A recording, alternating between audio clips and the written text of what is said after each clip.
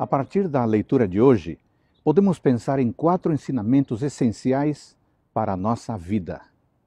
Ensinamento número um: reputação, verso 1. Se você preserva seu nome, seu caráter, sua reputação, isso tem mais valor do que qualquer bem. Sabe por quê? Porque o que somos e o que os outros pensam de nós constitui a nossa confiança e a nossa confiabilidade. Ensinamento número 2: Educação de filhos, verso 6. Filhos crescem rapidamente, bem mais rápido do que nós pais gostaríamos.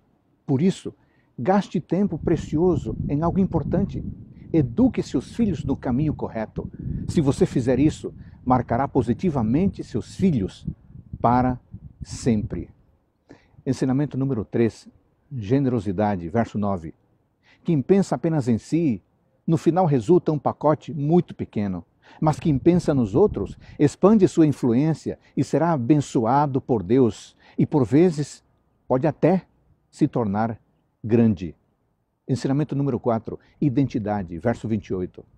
Aquilo que somos é muito importante porque constitui a nossa identidade. E nossa identidade é a síntese de nossa vida. Por isso, mantenha os marcos referenciais de quem você é e do que você faz.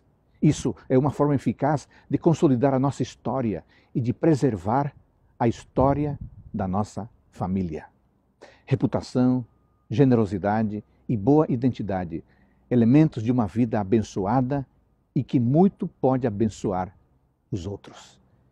Que Deus abençoe você neste dia especial.